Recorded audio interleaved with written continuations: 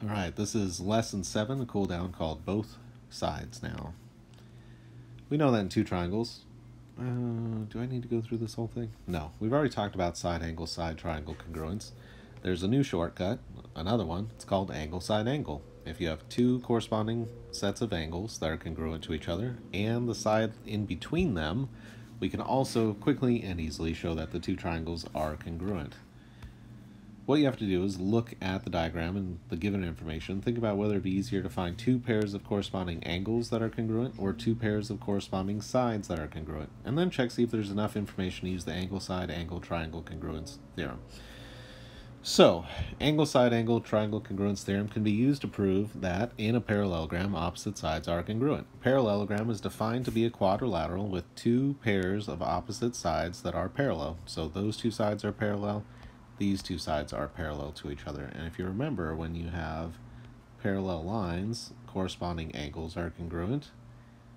Remember that alternate interior angles are congruent. So let's take a look at this. If this is parallel to that, then this angle and this angle are alternate interior angles, and we can mark those angles congruent to one another.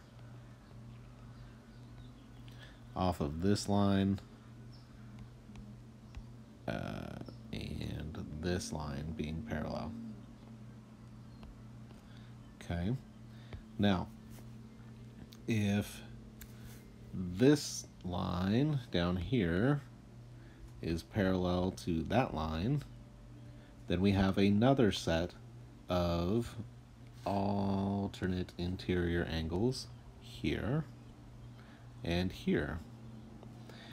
So if you take a look at this, we have this triangle and this triangle where we have two pairs of corresponding angles that are congruent.